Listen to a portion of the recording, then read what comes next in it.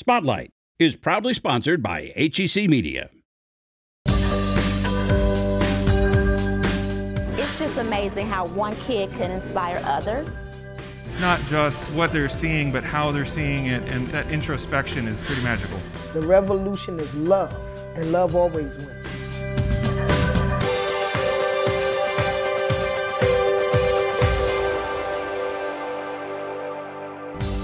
Today on Spotlight, a lady full of love on this Valentine's Day cooking for the homeless.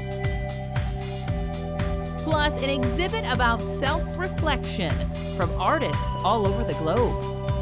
And then an unlikely romance during World War II between two supposed enemies. But first, one kid's love of business turns him into the youngest vending machine owner in the country. It's Sunday, and you're watching the Emmy Award winning Spotlight. Mikey Wren is a typical 12 year old boy. Our mission is to create a vending company that builds strong relationships, offer competitive prices, and provides quality service. Well, almost.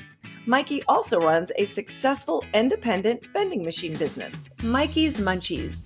I remember I asked my mom for something at the vending machine, and she told me no. But she told me all the money that you put into those machines goes to the owner. But if you had your own, all the money would go to you. So then I was like, you know what? I want vending machine. I really thought no. and another thing that's being added onto my plate. But I gave him some busy work and he did the busy work. So I told him to go do a business plan, go do market research, and tell us where to get the machines from. And he did it within two days and he brought it back to us and he was like, I got it. And I'm like, You got what? And he was like, I got it. I got my business plan. So then me and my husband had to sit down and have a conversation about getting him these vending machines because we didn't have the money. So we had to come up with a game plan. Okay, you have to do a lemonade stand to get this money. And we were shocked. The first day he made over $600. And serves as the youngest vending machine owner in the nation. Six of them are in Jenny's. Three of them are with a company, Boeing. I have a, like uh-huh. a contract with Boeing. I have one at the Magic House at May, and I have two in Creve Coeur. But he hasn't stopped there. After garnering success with his business, Mikey went on to write two best selling children's books that both offer perspective and advice for other young entrepreneurs. That whole process started with his third grade teacher, and she didn't know how to approach me to tell me that my son was struggling in third grade. And she was like, it was intimidating for her to come to me and say, Your son cannot read.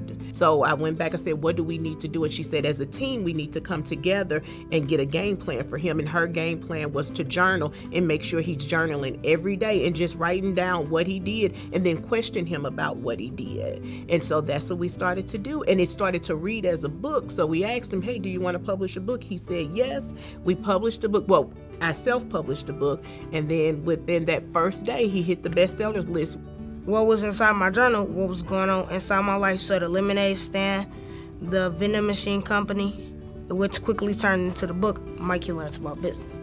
And although Mikey was finding success in the world of business and becoming an author, Mikey's family had to overcome their own challenges. So many people don't know, my mom just got done battling breast cancer. So her still helping me with my vending business, her motivating me, telling me, come on, we gotta go, we gotta keep going, we gotta keep pushing. Mm-hmm. And her just setting me up, like, because if she didn't make it, she just wanted to make sure that I was set up and my sister was set up as well mm-hmm. for life. I just really want to appreciate you guys for coming. This event nearly sold out, so that just really just warms up my heart take risks and take chances because you only get one shot at some stuff. So if you don't take the risk or don't take the chance, that's an opportunity that you probably missed. And just as Mikey has been motivated throughout his journey, he now inspires and motivates others to take risks and to live out their dreams. Felt fire get lit up under me it's just amazing how one kid can inspire others. I think it's awesome that he has taken his creativity to this level. I don't do like much talking. I let my actions like show. Just like the lemonade stand, making twelve hundred dollars in three days. Not many people is doing it. So I just let my actions show. Follow HEC Media on Facebook, Twitter, and Instagram. These pots are banging for a very good reason. We bang revolutionary pots. The revolution is love, and love always wins. Meet Mama Cat, activist and pot banger from way back. My mother was a cook. I lived in a tenement in the Bronx. I could look up at the window, and the windows were fogged up. And when you go inside the door, you can hear them pots banging and clanging. So I said, I want to be a pot banger when I was a kid, specifically for the family. And that is just what she has become. Today, Mama Cat and her team of volunteers feed the hungry on the streets of St. Louis. PotBangerz is a registered 501c3. We are a nonprofit organization. We provide care, comfort, and nourishment. We cook 150 meals each Thursday. We aid families that don't have enough to make it through. We partner with a lot of different awesome community groups and that help get people off the street into housing. So, you know, we try to fill in gaps. That's our role in life is to fill in gaps. It all began during the Ferguson Uprising. I met Mama Cat during the Ferguson Uprising because she showed up after a really rough night when police had been um, tear gassing people and it was 3 o'clock in the morning and everything else was closed and people were hungry.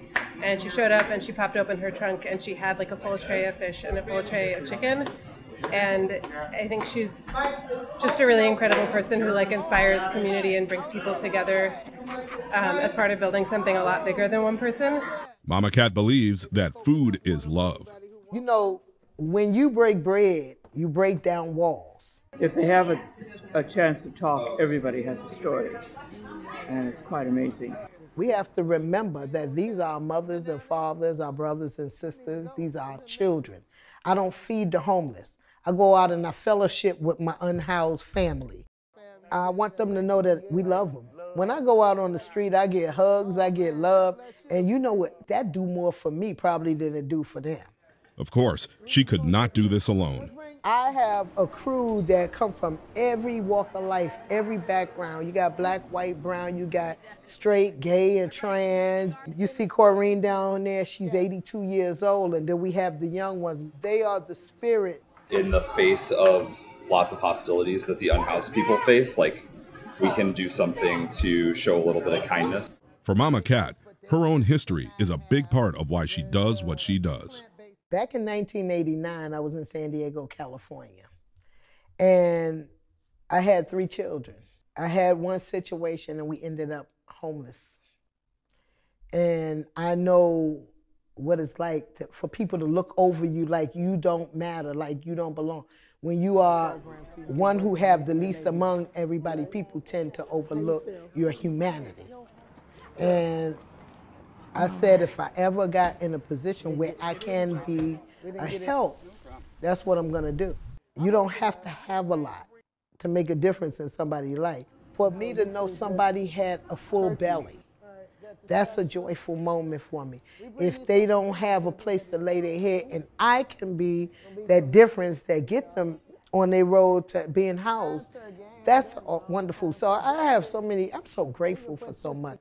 Boundless energy and her affection for humanity is what keeps Mama Cat doing what she does. When we can say that we help people find their way back to homes, when they're not hungry, once we done all that, we can say mission accomplished. HEC Media, bringing you culture and community. Find all of HEC's positive programming and award winning content at hecmedia.org. We're here at the Foundry Art Centre hosting the latest exhibit, Self Reflections, juried by St. Louis based visual artist and educator Natalie Baldion. As Natalie went through and juried the exhibit, there wasn't a restriction on media, and so what we have is a fantastic representation of sculpture, photos, hyper realistic oil paintings. And with that, there's something for everybody. So it's pretty great to have this wide breadth of not just themes of interpretation of self portraiture, but this diversity in expression and craft We have artwork from all over the world actually in this, this exhibit, so that's kind of exciting that we have uh, such a, so many artists, and uh, I think there's 53 uh, artists represented, all the way from London to Texas to right here in the St. Louis region. The theme of the show was about self-identity and how the artist sees themselves through self-portraiture and being a new team coming in and immediately getting into flipping the gallery, putting in self-reflections, working with over 53 artists, it's pretty great to have this as the first show. I think it's just very appropriate to have uh, a self-reflection themed show as the first exhibit myself and this new team puts forward to the community. I mean, it's right on the money. We have such an enthusiastic team. Everybody here is dedicated to being involved in the arts, to reaching out to the community and fulfilling our mission. And at the end of the day, really, it's, it's just, it's so much fun to see people come in and having this available to our community is, um, is fantastic. And, and uh, that's, that's, why we, uh, that's why we do what we do as guests come through the exhibit, after they've seen the works, they've done some self-reflecting themselves. And that engagement is really something that, as an arts administrator, I enjoy. And I, enjoy watching people uh, as they come through the gallery. And it's not just what they're seeing, but how they're seeing it. And that introspection is pretty magical. Moving forward, that's where the Foundry is going to be more focused on programming that is, uh, that is outward facing to the community and engaging our regional community. The door is open and it's free to come in for anybody who wants to swing by and just kind of see what's going on here. And while you're here checking out Self Reflections, be sure to see New York based artist Sarah Sipling's show, Protest Print. This exhibit explores current socio political issues through various printmaking and collage methods. Self Reflections is on view at the Foundry Arts Centre until February 26th. For more information, please visit foundryartcenter.org.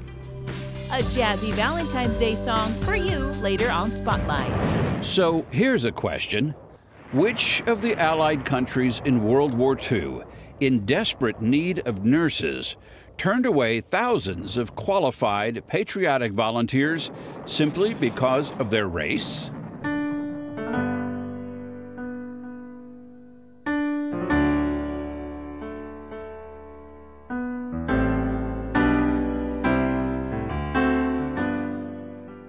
Society at large didn't want to see black women in uniform. So a very small number actually served. And Eleanor Powell was one of them. Like many black nurses in World War II, instead of tending to the wounds of their countrymen, they were assigned to care for German prisoners of war being held in the United States. The Army theorized German soldiers who had been fighting on behalf of a racist regime would not become attracted to women of color. Apparently, Frederick Albert missed the memo. How did they meet? it's a great story, really. Um, so apparently, uh, Frederick, his assignment was to work in the mess hall because he was a, a great cook and an excellent baker. And this is what he shared with his children and his uh, and other family members. He said he saw her when she walked in, and it's like he was under a spell. Frederick and Eleanor became enemies in love. I think it was youthful rebellion. I think they also were madly in love. But they were they were taking major risks. I mean, here you are have an American nurse in the army, and he's in Hitler's army. So we are enemies at war. So she could have been court-martialed had um, their romance been uh, discovered. But now their story has been discovered by journalist Alexis Clark, who spent years documenting this incredible story of courage in a time of war and marriage in a time of hate. It's a collision of Jim Crow and Nazism. Even though we're at war, these are two countries that have racialized laws. So they both were committing crimes. So you really think about, wow, they just uh, they erased all of that. And so I think, yes, it was, they're, they're young, they're rebellious, but they also hated what their countries were um, putting forth and, and, and selling this racism because that's, that's not what were in their hearts either.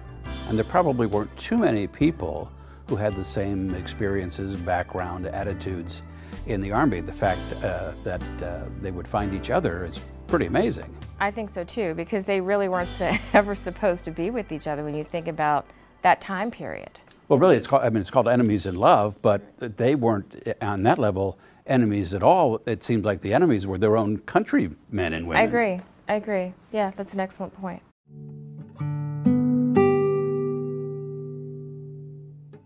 Do you think if they would have met somehow later in life, older, they would have gone ahead and, and gotten together, or was this sort of a, I know. a moment of youth? I think youth was on their side for sure. Um, and not that you're young, that you're not thoughtful, but I do think there is something, um, just there is more wisdom um, and more fear as you get older. You know what this world can be like. So I think it helped them that they um, hadn't experienced that much of life yet. Well, the book is Enemies in Love, and it's terrific. And Alexis Clark, thanks very much for being with us. Thank you so much for having me. A profound feeling overcame Frederick when he spotted a beautiful, tall black woman. Incapable of concentrating on his kitchen duties, Frederick bypassed the POW waiters and walked right up to Eleanor. He looked her in the eyes, smiled, and said with a German accent, You should know my name. I'm the man who is going to marry you. Scan the QR code on your screen with your phone's camera to watch the full interview to hear more details about their beautiful love story. With every stroke of the bow, every stroke of the brush, with every stroke of genius, the arts make life in St. Louis richer, not just emotionally, but also economically. In our region, the arts create almost $600 million a year in economic activity, supporting more than 19,000 jobs, generating almost $60 million for state and local governments, with almost 12 million annual arts related visits. That's more than all St. Louis sporting events combined. Whether in a park, on a street, or a wall, experimental or a classic, the arts deserve our support because the arts help support us. HEC Media is proud to be our region's home for arts, education, and culture because in St. Louis, the arts mean business. Perseverance of Humanity launching the next generation of robotic explorers to the Red Planet. Successfully launching and traveling through space. That's challenging, but not nearly as difficult as landing the Perseverance rover in what has become NASA's most ambitious mission to Mars. Launched in July 2020, Perseverance is the newest generation Mars rover. It's high tech, NASA's most sophisticated rover ever built, and it's the biggest to land on the red planet. Perseverance is the first part of a multi billion dollar effort to bring Martian rock samples back to Earth. Scientists are looking for ancient life on Mars. The countdown to the February 18th landing is excitement mixed with high anxiety because NASA scientists say it's the most critical and most dangerous part of the mission. Entering the Martian atmosphere at more than 12,000 miles an hour, Perseverance will streak across the sky like a meteor for seven minutes before finally touching down. NASA scientists are calling the sequence of landing maneuvers the seven minutes of terror because it's all done automatically. So you come in through the atmosphere at, at miles per second and use an aero shield and a parachute and then the sky crane to land wheels first. And there's a cable that comes down about 30 yards with the sky crane, this rocket thing, kind of suspended. And the cables are cut automatically and the sky crane goes off. And then you've got a rover on the surface. That's the most difficult part. If anyone in St. Louis knows about this nail biting descent, it's Ray Arvidson. The Washington University in St. Louis professor played a significant role in several rover and lander launches and landings. He's deputy principal investigator for the highly successful Mars exploration rovers Spirit and Opportunity. He's currently a NASA science team member for the Curiosity rover in charge of path planning, and he is the director of the NASA Planetary Data System Geosciences Node. This means his campus facility will be archiving all the Perseverance data. All their data products images, chemistry, mineralogy, organic content posted through our websites. Everybody's going to be coming to us to figure out what the context was for all the observations. But landing on Mars comes first. Arvidson even helped choose the landing site for Perseverance, which is Jezero crater with this big eroded delta. And we're continuing to provide images and uh, other pieces of information that help the science team once they land and start traversing where to go to get the best samples. Once safely on the surface, Perseverance and its science team will search for signs of ancient life and collect samples to be returned to Earth. Arvidson is part of the team that created those specifications. So we've been trying to get, that is, the community arguing with NASA and Congress and the president all the way back to the 1970s to return samples to Earth. So the whole idea is to go to a place, drill and get the samples, put them out on the surface to be returned by a later mission. Why is it so important?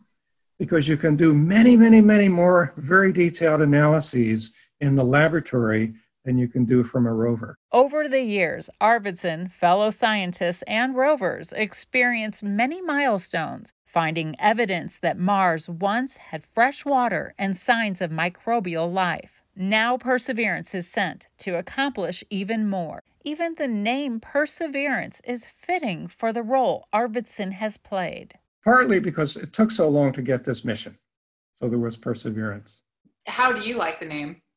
I like the name, except, you know, Opportunity, which was the rover I was the deputy principal investigator for, wound up uh, sitting on Perseverance Valley. What's the last time we heard from it uh, after a huge dust storm in June 2018? But that's okay.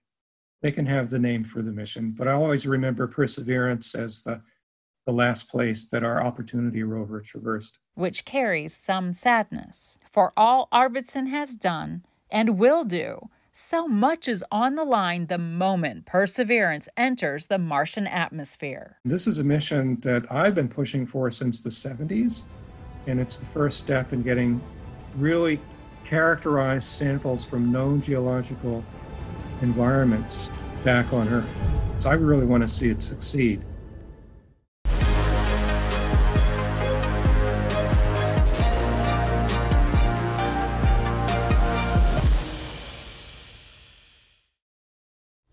We are here at the St. Louis Artists Guild for the Printin' exhibition. The exhibition focuses on national and local printmaking artists working in a variety of printmaking techniques. Within the exhibition, the diversity of techniques is really evident. In some prints, you're seeing lithography techniques, which comes from drawing on a limestone with a grease crayon. Um, and then in other prints, you're seeing techniques using silkscreen, which is typically used for commercial purposes for making t-shirts and other large media. You also have traditional mediums like etching and letterpress focusing on different ways of using a matrix that are very historical in nature. A lot of people think of printmaking as being like a digitally outputted print.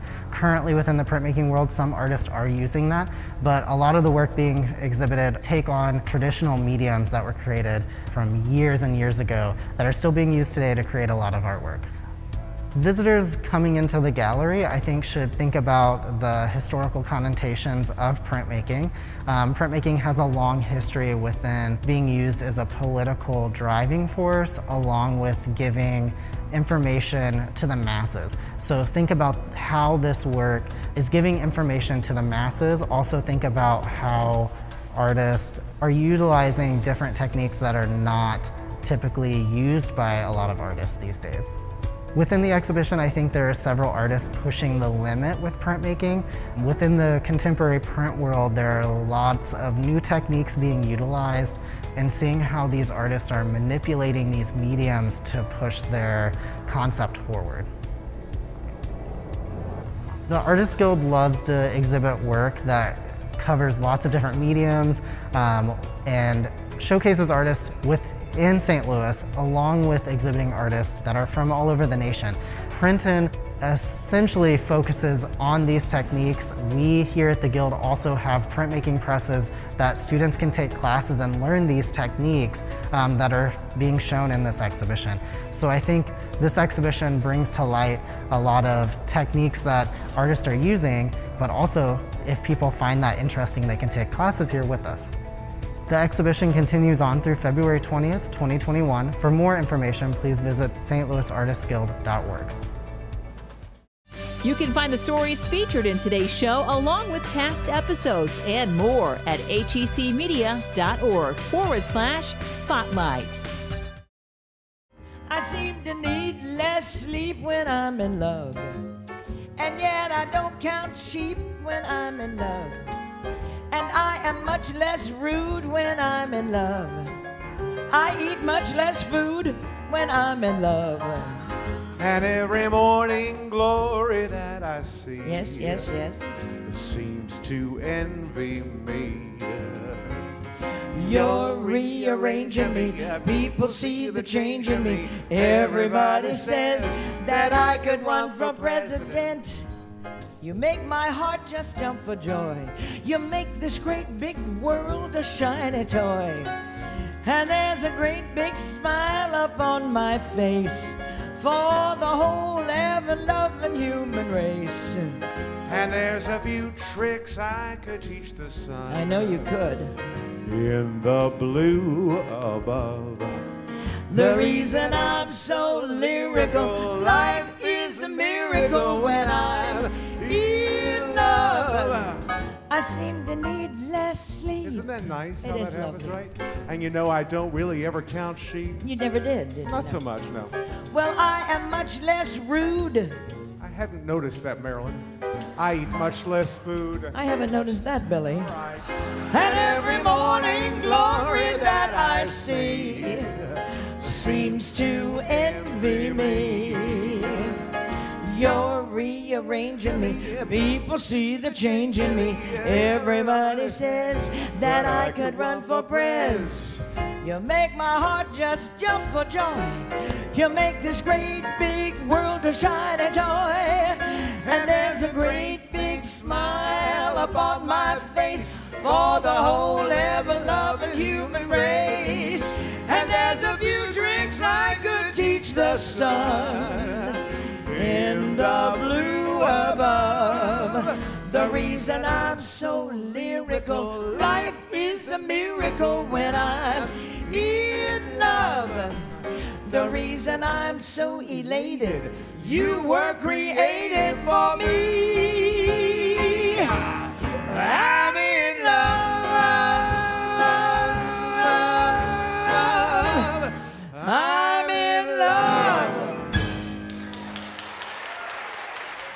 Next week, for one St. Louis family, every month is Black History Month. Plus, an animal rescue takes over an elementary school and turns it into a shelter. Thanks for watching Spotlight. Join us next Sunday at 9:30 a.m. on KPLR 11.